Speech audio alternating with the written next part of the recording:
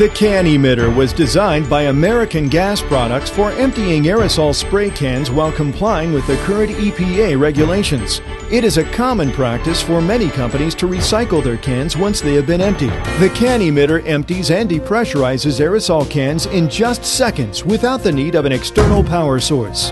The emitter utilizes a completely sealed evacuation chamber.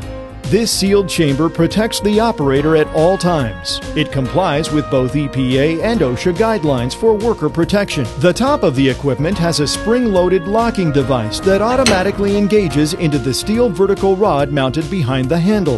This locking device does not allow the handle to rise, keeping all the materials locked inside the evacuation chamber. Notice the bottom of this device. The 2-inch threads you see are steel, and they are the same identical threads found on any 20 to 55 gallon drum. Yes, the emitter will attach directly to the drum. In the event that your company does not generate enough waste to utilize a large drum, simply mount the emitter to a workstation and install a hose kit on the bottom and attach one end of the hose to the emitter and the other end to a smaller drum. Please make sure that you attach a ground wire to prevent a buildup of static electricity. Disengage the locking device, lift the cover, and insert an aerosol can into the lower chamber. Lower the cover and the locking device will automatically secure the two chambers.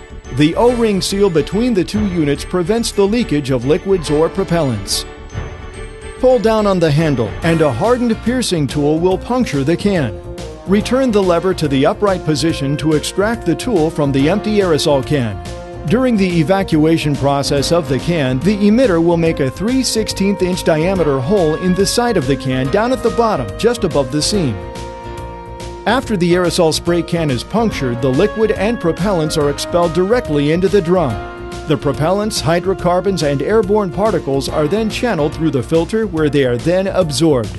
Once this has taken place, the can is rendered harmless, non-explosive, and environmentally safe to recycle or discard. The Can-Emitor is made of heat-treated T6 aluminum, weighing 15 pounds and measuring 24 inches long. The aerosol Can-Emitor accepts all sizes of aerosol cans, from the very smallest to the largest. One key point to remember about this system is that it remains sealed at all times. If you are not using the system, simply lower the cover, and at that point the emitter is again sealed. The opening in the bottom measures nearly an inch, and it's not likely to ever clog up. A wide range of industries, from small restaurants to the extremely large industrial corporations, aerospace facilities, government agencies, and universities currently use the Can-Emitor. We have sold these units to universities for their aerosol cans filled with chalk. Other companies have purchased this equipment to empty dated food products, adhesives, and smaller cans like those that mace and hair products are packaged in. The emitter has been sold to thousands of companies worldwide since January of 1990. If you are trying to decide just what it is that you need to purchase to get started, you can start by buying the Can-Emitor and a filter. Choose the filter that best fits your needs. You do not need a hose kit unless you decide that maybe a 55 gallon drum is too large and you would be better off using a smaller drum. We here at American Gas Products are very confident that you'll be pleased with your purchase.